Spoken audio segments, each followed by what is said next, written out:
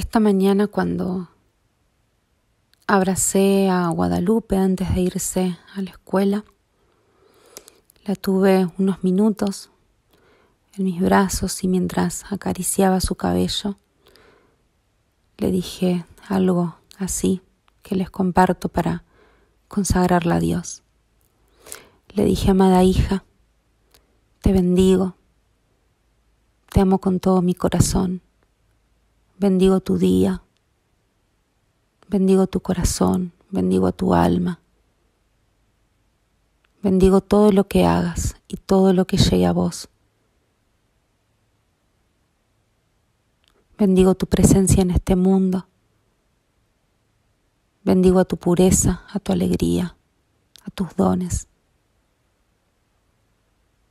Bendigo a tu ser para que el brillo que te habita y que eres se expanda a donde pueda llegar con un propósito destinado por Dios. Te consagro a Dios para que Él te cuide, te acompañe, te abrace. Que todo en este día esté bajo su protección. Que todo en este día sea guiado por una fuerza superior. Sos valiosa. Sos hermosa. Sos importante en este mundo. Confía en quien sos. Confía en tu luz. Confía en tu intuición.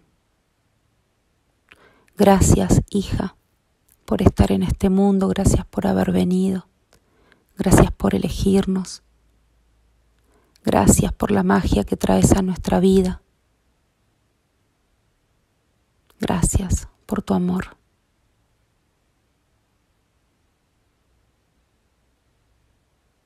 Amén. La intención de, de, estas palabras es que ella se sienta segura, se sienta confiada, sabiendo que Dios está con ella. La intención de recordarle que es amada, que es valorada, que es honrada, y que agradecemos su presencia en este mundo. Le dará seguridad, le dará autoestima, le dará confianza en sí misma. Esa es la intención, que cada día, en un abrazo, le pueda decir con pocas palabras algo que le marque una dirección, una intención. Cada palabra es como una brújula que atraerá a su vida, a la energía invocada. La intención con una oración de consagración, ya sea para nuestros hijos u otro ser que amamos,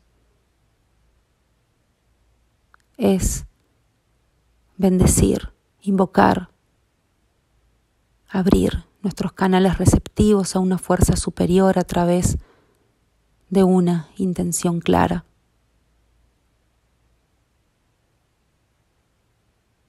Si cada día de nuestra vida le consagramos a Dios nuestro hogar, nuestra familia, nuestros animales, nuestros proyectos, nuestras ideas, todo estará sostenido por una fuerza superior.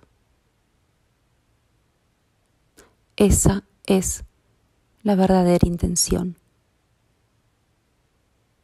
Ese es el foco.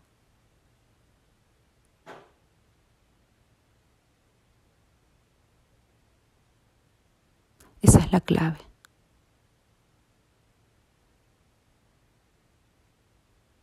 Te invito a consagrar cada día de tu vida a nuestro amado Padre Espiritual para que vivamos en su presencia y que transformemos el creo en Dios al vivo en presencia de Dios, Dios vive conmigo, Dios vive en mí. Dios es parte de mi familia. Porque cuando la humanidad alcance ese estado de conciencia, estará libre del poder de la oscuridad y del mal. Y que nuestros hijos crezcan conectados a su Padre Espiritual y a las bendiciones de Dios. Es clave para la misión que ellos vienen a cumplir en este mundo. Por Vanina Sousa Gramuglia, en conexión con la naturaleza y con los guardianes de la tierra. Que la paz esté con nosotros.